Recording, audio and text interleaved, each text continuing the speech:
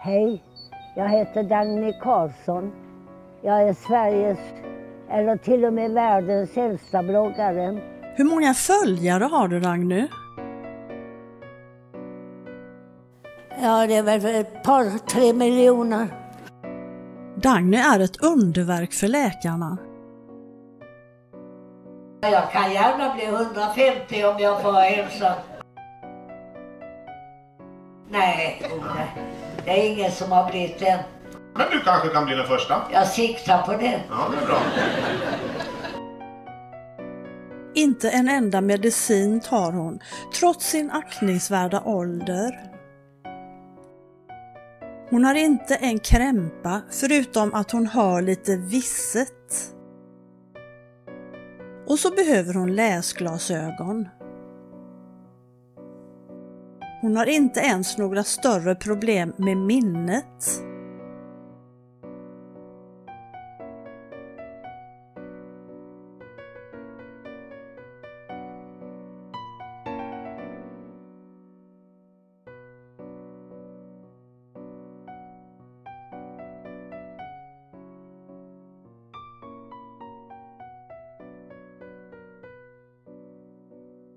Dagny läser morgontidningen, hon tittar på TV-nyheterna, hon läser mycket, hon löser korsord, älskar teater och opera.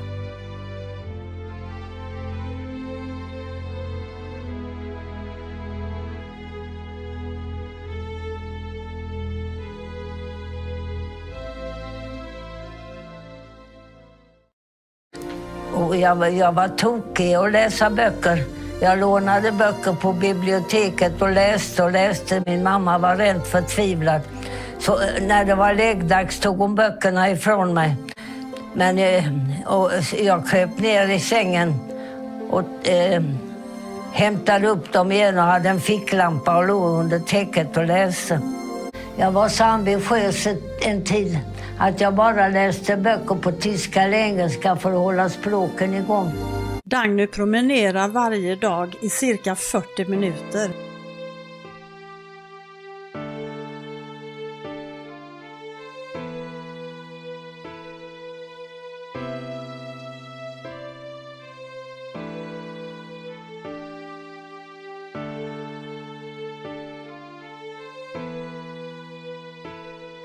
Okej, låt dem hålla på.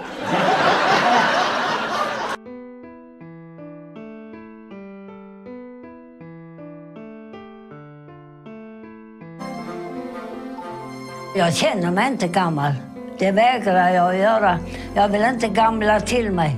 Ingen idé att, att, att sätta sig ner och säga att jag kan inte och jag vågar inte och jag törs inte. Det får man bara himla tråkigt.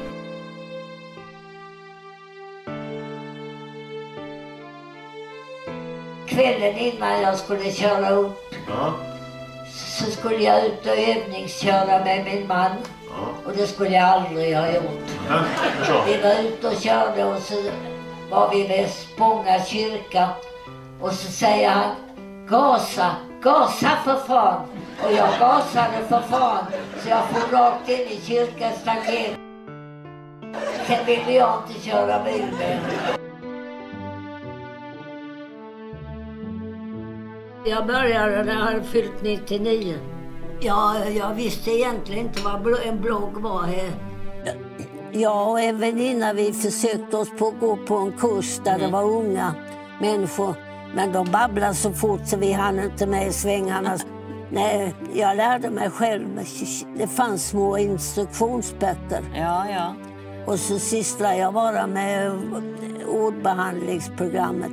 Sen ble, blev det ju populärt mer med- och mer så att det blev datorkurser för, för Äldre. äldre.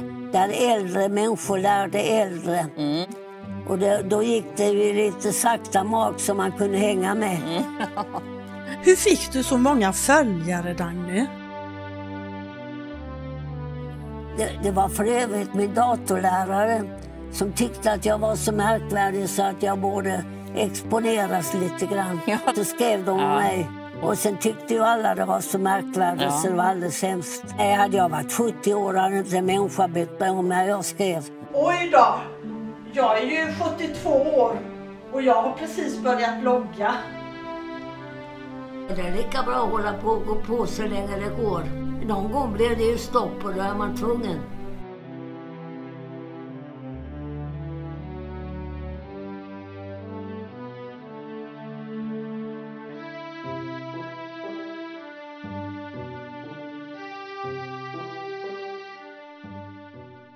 Greta och Dagny var båda sommarpratare i Sveriges Radio.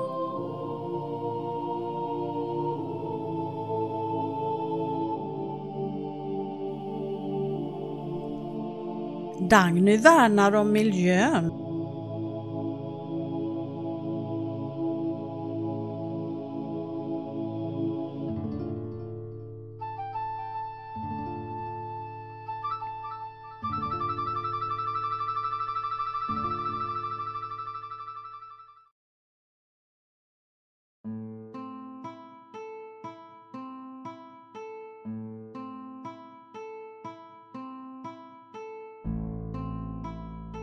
Han hade humor.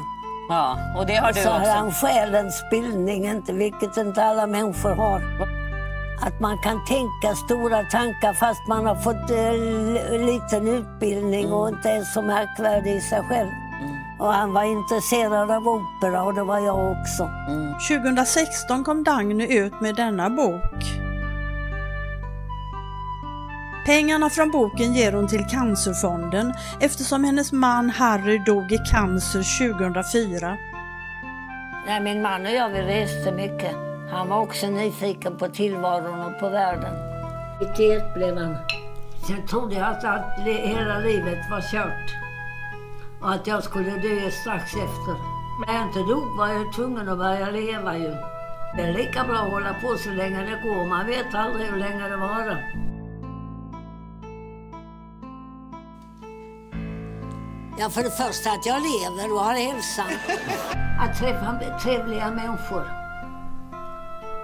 Och få vara ute och uppleva någonting. Det är snålt med vänner när man blir 105 år. De flesta har kolla vippen.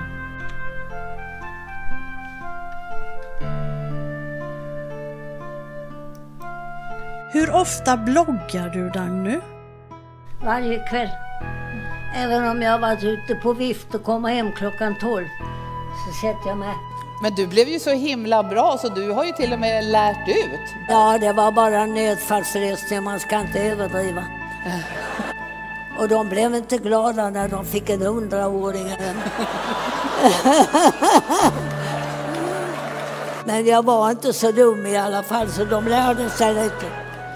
Hva fikk deg til å begynne å blogge? När jag var ung hade jag en författardröm.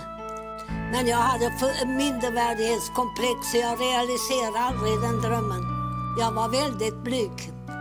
Stammade och... Och sen så tänkte jag att det kunde vara roligt. Och något ska man hitta på på gamla dagar också. Du har ju haft stor succé med den här bloggen. Har du blivit av med ditt mindervärdighetskomplex? Ja, jag har kaxat till mig på gamla dagar. Så du, tyk, du tycker inte det var bättre før? Nej, det var det verkligen inte. Det var ett rent elände. Min morbror eh, låg ute och var mobiliserad och han låg i tält och de hade gamla uniformer sen Karl XIIs tid. Och de var fulla med löss och otäckheter. Så han kom hem och hälsade på i mitt hem och jag kröp upp i hans knä och skulle krama om honom. Och han hade någonting som hette skabb och det smittade han mig med. Jag var fyra år. Fick komma in på sjukhuset och jag skrek som en vilde för det kliade. Då kommer sjuksköterskan, hon hette Lisa, det glömmer jag aldrig, i lång fotsid dräkt som de hade på den tiden. Med en visp av björkris. Och så säger hon, om du inte tiger ung rackare ska jag slå dig med den här. Ja, så gick det till förr. Barn fick inte lov att yttra sig i vuxna sällskap, vuxna sällskap om de inte blev tilltalade. Var man flicka så eh, förmanades man att man skulle vara rädd för pojkar. Och det gjorde de inte dubbelt så intressanta förstås. Till Ja, jag exempel? skulle vilja resa fortfarande men det är ingen som vågar resa med mig. De tror jag ska falla död ner. När jag var barn och folk skrattade åt mig så tog de, gjorde spektakel av mig. Jag begrep inte att jag var rolig men det har jag kommit underfund med nu på gamla år.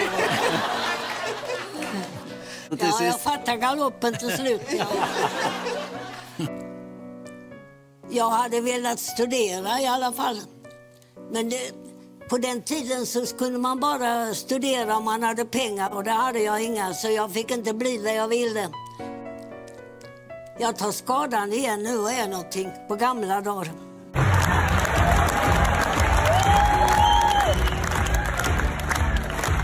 Kärringen som går mot strömmen. Ja, det kan man säga. Varför ska man eh, känna sig förbrukad, gammal? Varför ska man inte ta till sig det nya?